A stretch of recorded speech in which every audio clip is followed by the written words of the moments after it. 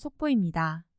오늘 4월 1일 토요일 오후 6시 41분 일본 니가타현 북부 지역인 카에츠 앞바다에서 규모 50진원의 깊이는 10km 그리고 4분 후인 45분에 역시 니가타 북쪽 카에츠 해역에서 규모 3.9의 연속 지진이 발생을 하였습니다. 전 세계의 대지진 패턴을 보면 연속 지진이 발생을 한 후에 대지진이 발생을 하는 경우가 많았는데 최근 연속 지진이 일본에서 자주 발생 중입니다. 가령 아오모리현 동쪽 앞바다에서 3월 28일에 규모 6.1과 오늘 4월 1일 역시 규모 4.7의 연속 강진이 발생을 하였고 3월 29일부터 30일까지 이시가와현 노토지방에서 무려 8번의 연속 지진이 발생을 하고 있으며 이번 이시가와현 노토 지역의 8번의 지진과 니가타현 북쪽 카에츠 해역의 연속 강진은 그 연관성이 있다고 볼 수밖에 없어 보이며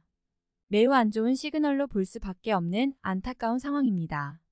그리고 도우 지역 미야기현 앞바다에서도 3월 26일과 27일에 규모 4.4와 5.2의 연속 강진이 발생을 하였으며 후쿠시마현 앞바다에서도 3월 23일부터 3월 27일까지 4번의 연속 강진이 발생하였으며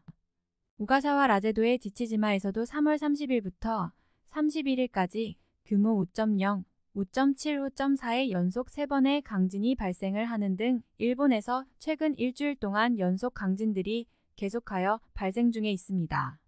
다시 니가타현 지진을 살펴보면 최근 3월 23일 아르헨티나 산안토니오 데로스 코브레스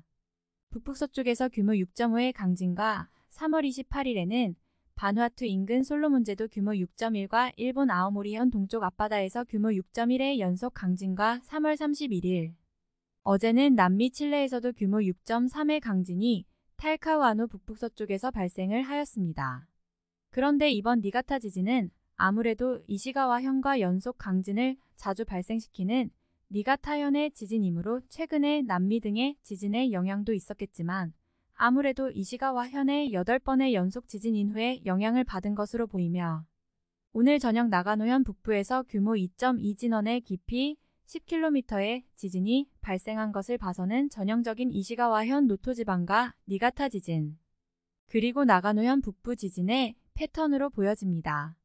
이 지진 패턴은 과거에도 자주 발생했던 이시가와 니가탄 나가노 패턴입니다.